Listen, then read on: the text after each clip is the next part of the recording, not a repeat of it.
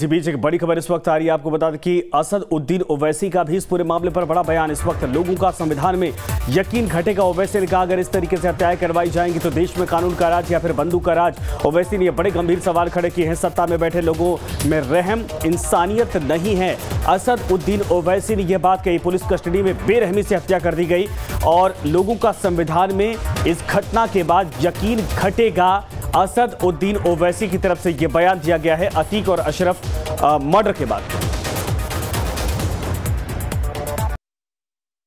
देखिए, मैंने शुरू से आप आपसे कह रहा था कि उत्तर प्रदेश में बीजेपी की सरकार रूल ऑफ़ लॉ के तहत सरकार को नहीं चला रही है, बल्कि रूल बाय गन को चला रही है।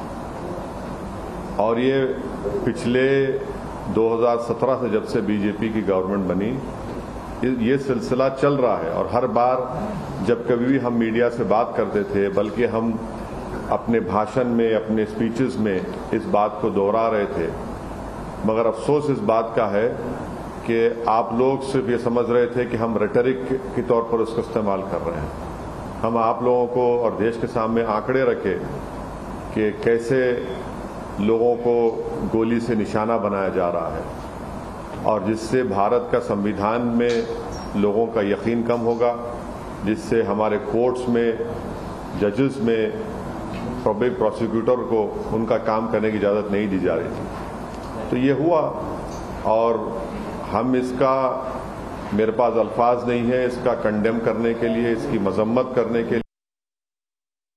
ये जो कल का वाकया हुआ आप बताइए मेरे को, ये तो कोई, ऐसा नहीं है कि कोई जाकर फ़ौरन किसी को गोली मार दिया। आप उनका वेपन चलाने का तरीका देखो आप।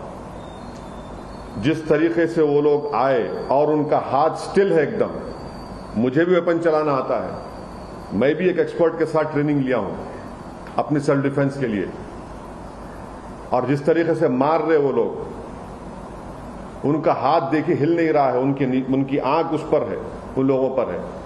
उनको मालूम था कि पहले कहाँ पर, किस जगह पर मारना। तो ये एक कोल्ड ब्लडेड मर्डर है।